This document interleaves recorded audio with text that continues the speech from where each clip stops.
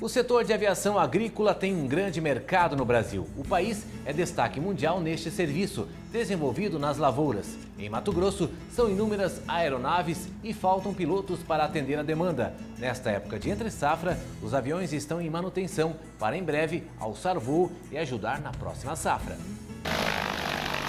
A aviação agrícola é um dos setores que mais vem crescendo dentro do agronegócio. O surgimento ocorreu na década de 70 nos Estados Unidos e acabou se espalhando pelo mundo. O Brasil hoje é o segundo país com maior número de aeronaves, perdendo apenas para os americanos. O produtor rural Adelmo Zuanazzi, em Sinop, é um dos que utiliza este serviço em suas lavouras. A aviação agrícola é uma prática importante dentro da nossa atividade é, porque em alguns momentos onde a gente tem um pouco mais de urgência para fazer as aplicações, ela é uma aplicação rápida, é, você resolve uma situação de emergência com qualidade. O custo com a aplicação aérea gira em torno de 11 reais por hectare. Já o convencional, em média, custa 25% mais barato, mas segundo estudos, o ganho em tempo na aplicação aérea é maior. Em caso de ataque da ferrugem da soja, por exemplo, com a aeronave o produtor consegue minimizar o problema mais rapidamente. Devido ao aumento da atividade em todo o país, a demanda por pilotos que atuam na área agrícola também aumentou. Evandro Schneider começou como piloto comercial há 13 anos e há 8 atua na área agrícola. Era um sonho, um sonho desde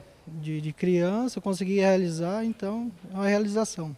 Muitas empresas estão investindo nesse setor de aviação agrícola e comercial, mas um dos entraves é a falta de mão de obra, no caso, os pilotos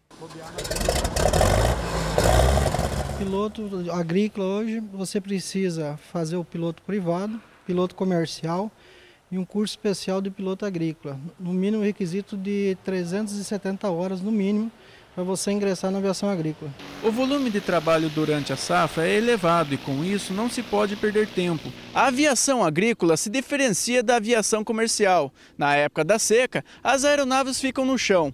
As empresas que prestam esse serviço aproveitam a entre-safra para fazer a manutenção das aeronaves. A manutenção é imprescindível, principalmente nos atomizadores, uma espécie de bicos onde é feita a emissão da cauda. Quanto tempo trabalha durante um ano?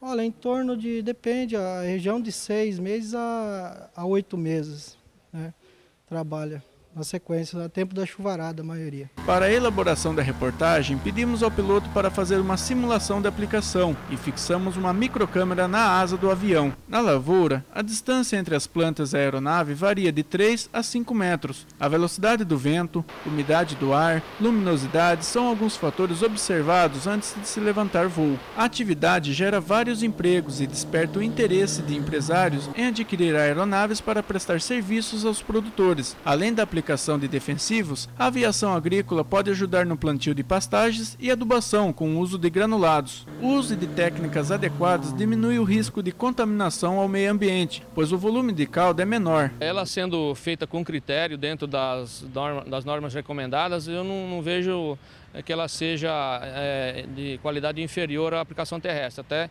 diria que ela tem melhor qualidade por usar baixa vazão, é, usa menos quantidade de, de, de água na aplicação, então ela é de igual ou superior qualidade que a terrestre. Segundo dados do mapa, a região médio-norte de Mato Grosso detém a maior frota de aeronaves trabalhando nesse segmento, devido a grandes áreas de algodão.